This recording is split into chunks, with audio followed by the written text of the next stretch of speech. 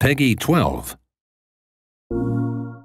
You might have done a variety of things in hiding in your hometown, but you will behave yourself here.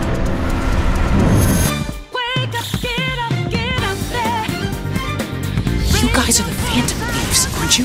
The moment we cross over, we'll treat each other like phantom thieves. Show me your true form. We're gonna catch all these shitty adults by surprise and make ourselves known to the world!